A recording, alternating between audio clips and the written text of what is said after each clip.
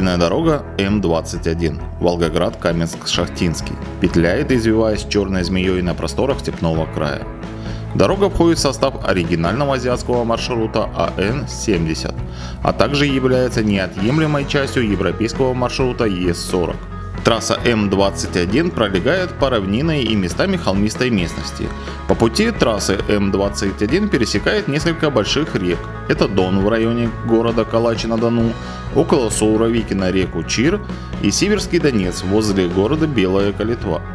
В 7 километров на восток от города Белая Калитва дорога пересекает еще одну реку, которая носит название Калитва.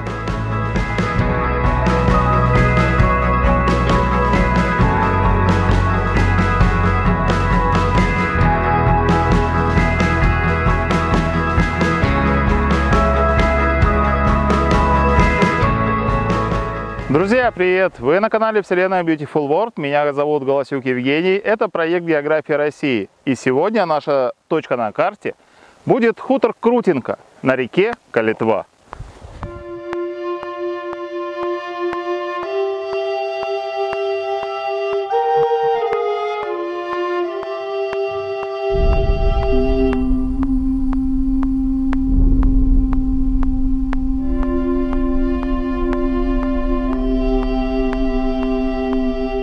Река Калитва берет начало на границе Ростовской и Воронежской областей, юго-восточнее города Кантемировка. Бассейн реки вытянут с севера на юг, имеет сильную левобережную асимметричность. Тихоструйная, светлая, словно краснодеевица, осознавшая свою привлекательность и красоту, катит она свои воды к Северскому Донцу. И течет она очень плавно, с округлыми поворотами, не торопится, по камушкам не шумит, течет так, словно дают зеленым берегам полюбоваться собой. Здоровым румянцем розовеет ее лик под утренним солнцем. Ласковой волной она гладит отмели до песчаные пляжи. Как у всякой реки, текущей с севера на юг, в начале пути правый берег отвеснее левого. В средней части, начиная от Белогорки и Степановки, берега одинаково холмистые, с ровной растительностью. Деревья, отступая от реки, укрываются сосняком и уходят за горизонт. В нижнем течении берега чередуясь создают своеобразный красивый вид.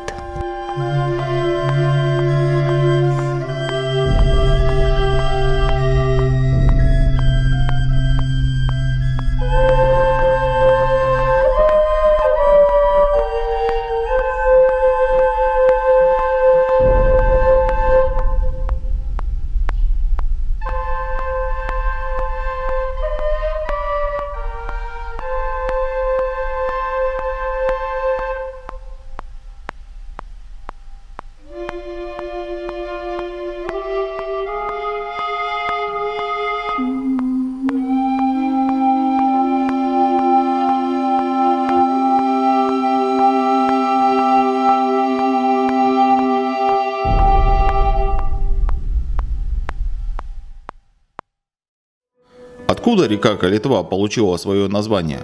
По одной из версий, название происходит от переселенцев, выходцев из Литвы, которые строили свои поселения на этой реке. Другая, более красивая легенда гласит о появлении и названии реки от имени прекрасной девушки-славянки, плененной половцами. По легенде, в один из дней девушке удалось сбежать со своим возлюбленным, но нагнали беглецов, и спутник красавицы пал храброй смертью. Прекрасная Калитва много дней проливала безутешные слезы. Так на месте гибели воина появился чистый родник, превратившийся потом в реку. Природа реки Калитва и по сей день радует путешественников и местных жителей. По берегам можно видеть много разнообразной растительности – деревья, цветы, ягоды, целебные травы.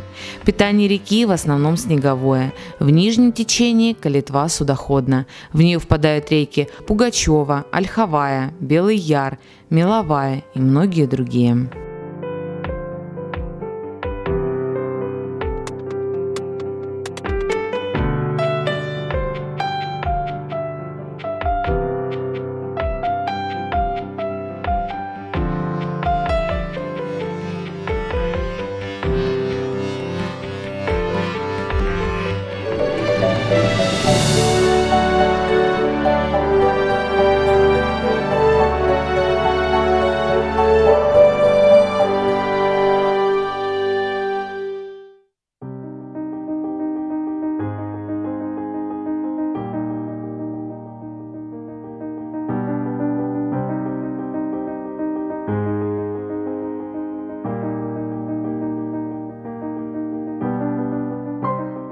Хутор Крутинский спрятан от посторонних глаз и проезжая мимо него по трассе, не каждый путешественник отыщет к нему дорогу. По одной из версий, хутор Крутинский был основан в результате Никоновского гонения в Центральной России при разделении христианской веры. Поэтому Крутинка имеет два кладбища – православное и старообрядческое, очень старое. Крутинка расположена в низине у реки, защищена вокруг от ветров горами Донецкого кряжа, с которых на десяток километров можно было вести обзор. На курганах дежурили казаки. На шестах на вышках всегда была запасена сухая трава, которую зажигали при нападении кочевников в более старые времена. А потом таким способом сообщалось о начале войны или других бедствий. Вокруг Крутинки были ливады, сады, огороды. Практически не было свободного клочка земли. Они были по всем балкам, кабани, сухой, крутой. Они были по обе стороны реки, у подножия Лазоревой горы, напротив мельницы, в Пристине. Хутор Крутенко у Белокалитвинского юрта возник не один на богатой рыбой и угодьями реке Калитва. Одновременно обживались и другие хутора по реке – Попов, Погорелов и многие другие. Возникали они у реки по 4-10 домов, а затем к концу 18 века насчитывалось до 30 дворов. 19 век был ознаменован бурным ростом народонаселения. Хутора имели до 120 дворов. Причем во всех хуторах было половина иногородних, то есть вновь прибывших. Это были в основном ремесленники и наемные работники, в том числе пастухи.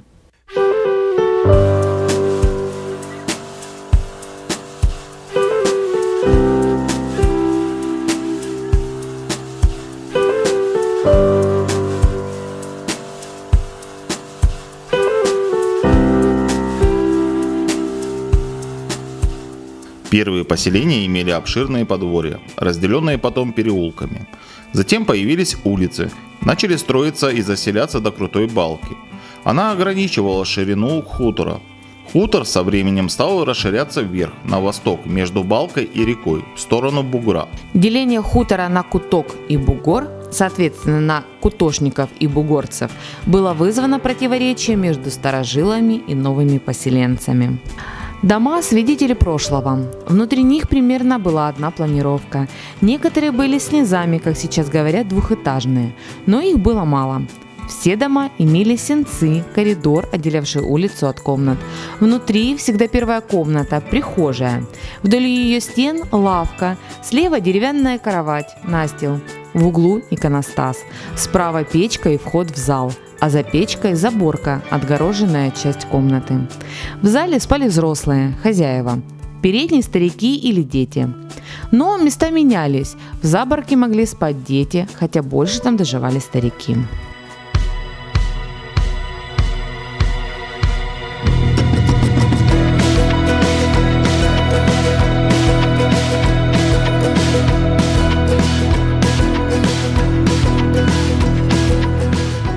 Возраст Крутинки более 300 лет, и все эти 300 лет люди сооружали постройки из камня.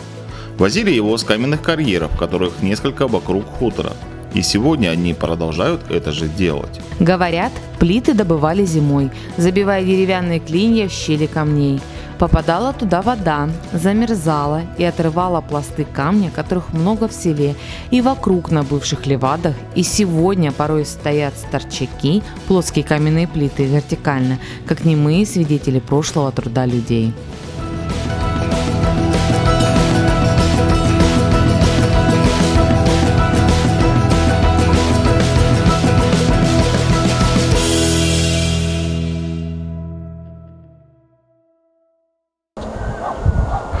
Впечатления о хуторе, ну не знаю, они такие. Хутор маленький, ну как маленький, он большой. Большой, но маленький. Улицы узкие, асфальта практически нигде нету. Есть один, одна асфальтированная улица, это улица Победы.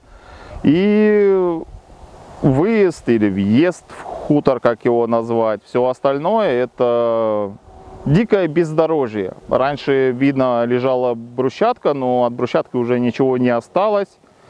А, очень много брошенных домов. Очень много. Много старых домов, казачьих, вот именно такие, какие они были, какие их строили. Но, опять же, от них остается практически ничего. А, Сходив на разрушенную мельницу, я на самом деле был очень не в восторге от этого места. При- Природа красивая, все хорошо, но люди, люди, вы живете здесь. Вы просто сваливаете груды мусора а, вдоль дороги к этому месту, возле реки. Это все разлагается, стоит такая вонь, вы просто не представляете. Я не стал там снимать, потому что дышать было ну, просто невозможно. Подумайте, вы, жи- вы живете здесь, вы живете в этом хуторе, к вам приезжают дети, у вас есть дети, у вас появятся внуки. Куда они будут приезжать? Зачем вы гадите у себя, у себя, можно сказать, во дворе? Я не понимаю этого. В этом хуторе я никогда не был, но единственное, по проездам, по трассе проезжал, ви- видел эту надпись «Крутенко», но никогда я сюда даже не заезжал, не был. Это мое первое, первый приезд в этот хутор, и он мне не понравился. Мне не понравилось, как здесь все обустроено. Я искал парк, чтобы записать начало, записать концовку, рассказать вам о хуторе. Эм, Парка нету никакого. Кладбище только что. В общем, эм, можно, можно приехать порыбачить, приехать погулять по окрестностям, но только уходить подальше от хутора, куда люди еще не добрались, куда они не высыпали мусор, где чисто еще мусор. Много мусора. Мусор кругом.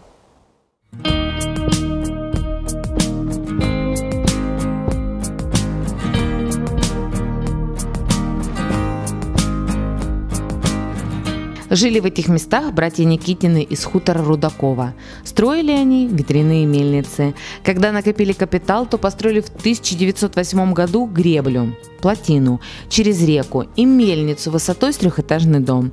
Для этого открыли карьер, который с тех пор называется провалом. На мельницу возили люди зерно из многих хуторов в округе. Мука получалась на мельнице хорошей, потому что оборудование было установлено современное, привезенное из Финляндии. Переселившиеся покровчане на свободные земли в хуторе Петровском начали разводить овец, свиней, коров, покупать косилки, сеялки. Зерно стали возить на водяную мельницу в хуторе Крутинский, что стоит на реке Калитва.